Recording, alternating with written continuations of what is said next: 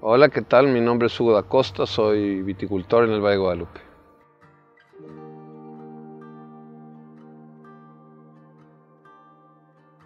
Cuando estoy ya en la época de preparatoria, en primera de preparatoria, de alguna manera viniendo de esta familia grande había que hacer algo de provecho en épocas vacacionales, trabajar, buscar alguna ocupación y encontré esta escuela de, fruticultura ahí en la salida a Toluca, en, Palo Alto, en la Comisión Nacional de Fruticultura y había unos cursos que decían cómo cultivar uvas y cómo hacer vinos. Me metí, este, hice el curso, este, curiosamente hice el curso con que me acompañó mi padre, entonces entre los dos hicimos ahí el curso y saliendo de, ese famoso curso me pareció como mágico, ¿no? como alquimia pura y le dije, oye, yo me quiero dedicar a esto. Me dijo, bueno, pues a ver, quién sabe para qué sirve, pero pues adelante. Este, y ahí fue donde tuve este, este despertar sobre la parte del vino. Yo decidí estudiar agronomía pues porque necesitaba ya, este, habiendo decidido dedicarme al vino, eh, de alguna manera había las dos opciones que podías tomar, puesto que en México no había la carrera de, vinos o la carrera vitivinícola, o sea, estudiar agronomía o estudiar bioquímica, y decidí agronomía porque me parecía que, el, que me parecía que el vino empezaba pues desde la tierra y entonces preferirme primero sobre la parte agrícola y no sobre la parte de elaboración. Yo estudié el tema de los vinos por casualidad después de este curso en, la preparatoria, después estudié agronomía y poco a poco fui jalando el tema de la uva. Cuando me fui a estudiar a Francia tenía yo ahí la, la, este, la ventaja de que había conseguido una beca pues, de, periodo largo y yo no sabía muy bien si me quería dedicar a la investigación, a la docencia o a la producción. Entonces los, mis primeros años en Montpellier pues me enseñaron que, lo que me gustaba era la producción. Entonces me sobró, digamos, beca, ¿no? Ya había acabado viticultura y enología en Francia y en vez de quedarme a la parte ya de investigación, a la parte del doctorado, este, recibí una invitación del maestro de, la Universidad de Torino, donde hacíamos viajes en conjunto Francia-Italia, para conocer otra, otra viticultura, otro país, otra manera de hacer vinos y pues lo aproveché, pues dije, bueno, me quiero dedicar a la producción, este, me sobra un poco de tiempo de beca y así pues tampoco estoy tan presionado porque pues ya lo que vi ya me lo sé, entonces podía disfrutar un poquito más la parte del vino y de la relación con la gente. Y una vez que termino mi, mi, estancia en Turín, pues empiezo, tenía este sueño de regresar a México, ¿no? Como con estas grandes fuerzas de tratar de hacer algo de vino ya en, México. Recibo la invitación para trabajar este, en Martel desde, desde Francia, de mi estancia en Francia. Entonces, pues llego a México pues como muy motivado, ¿no? Este, trabajar para Martel, contratado por el mismísimo Pirino Martel, una experiencia muy bonita. Llego a la parte de los viñedos.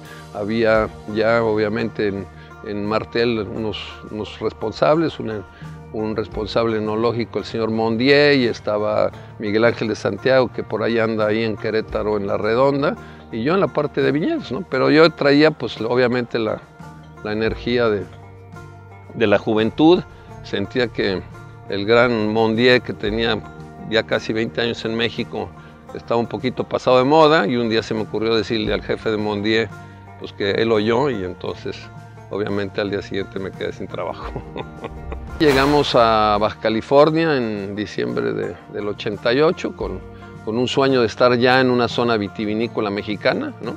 una zona vitivinícola mexicana con, con una fuerza, ¿no? entonces nos parecía como que se abría ahora sí en forma seria una, una beta de, con el tema del vino y pues nos dedicamos este, 12 años de nuestra vida a Santo Tomás. Fue una muy bonita experiencia.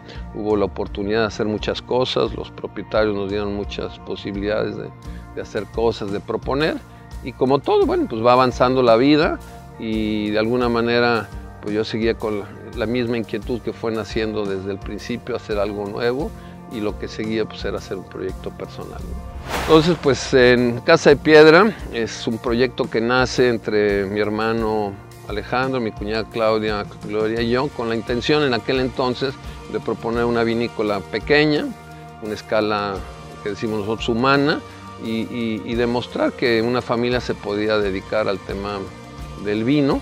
Este, las propuestas en aquel entonces eran más escala industrial, mucho más de tamaño empresarial mayor. Y nuestra idea era decir, bueno, ¿qué pasa si hacemos un, proyecto vitivinícola pequeño que, habíamos visto que existía en otras partes del mundo y que funcionaba? Y proponer pues solamente dos vinos, el vino blanco Piedra de Sol y el vino tinto vino de piedra. en el proyecto, pues este, como no teníamos suficiente dinero, este, invitamos a los amigos a que compraran el vino y ahí este, les hicimos una fórmula atractiva, pero la realidad es que más bien los, los amigos le apostaron y apoyaron financieramente el proyecto y así este, pues nace Casa de Piedra y el vino de piedra como un tema de un vino pequeño, prevendido y de alguna manera con, con mucha gente involucrada que nos ayudó a que, pues, que el vino permeara en el mercado. Pues bueno, mi recomendación para la gente que se quiera acercar al vino, pues es primero que se quite todas estas este, preconcepciones que existen en el vino, que, lo único que hacen es asustar y, distraer el, paladar. Yo creo que el vino es una cuestión mucho más sencilla, mucho más cotidiana. Creo que hay que hacerlo con, conviene hacerlo, es una bebida amistosa, conviene hacerlo con amigos, no solo por, por lo que relaciona con las personas, sino porque es una manera también mucho más activa de aprender lo que dice uno, lo que oye uno, lo que sabe el otro de alguna manera. Y creo que finalmente lo que necesitamos es probar. Aquí en Baja California tenemos verdaderamente hoy una, una propuesta de vinos muy amplia, tanto en estilo como calidades y, y, precios. Y creo que finalmente pues, es acercarse, ir probando, este, haciendo una pequeña memoria gustativa, que finalmente es dejar un segundito para ver qué fue lo que me gustó y de esa manera cuando lo volvamos a encontrar pues podemos hacer un poquito más, más rico ese consumo. Eh, pues a mis amigos de la revista Lo Más Sin, este, les agradezco que han estado con nosotros y les mando un saludo desde San Antonio de las Minas, Ensenada, Baja California.